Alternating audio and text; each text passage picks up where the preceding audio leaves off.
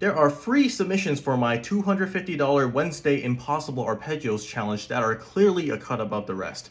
It's very difficult to crown a winner, so I am wondering what you guys think.